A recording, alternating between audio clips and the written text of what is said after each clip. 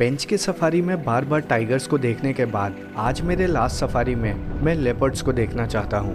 पेंच के टूरिया जोन में safari start होते के साथ ही हमें स्पॉटेड डियर्स की अलार्म कॉल मिल गई, जो शायद एक लेपर्ड के लिए ही है।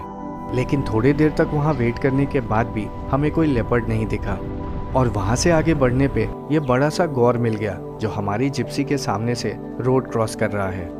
जंगल के अलग अलग हिस्से और वाटर होल को चेक करने के बाद अब सफारी का टाइम ओवर हो रहा है। लेकिन जब मैं इन लंगूरों को फ़िल्म कर रहा था कि पीछे थोड़ी दूर पे एक टाइगर को जाते देखा गया, ये टाइगर अभी शिकार की ताक में है। लेकिन थोड़ी देर तक रुकने के बाद अब वो जंगल में अंदर चला गया।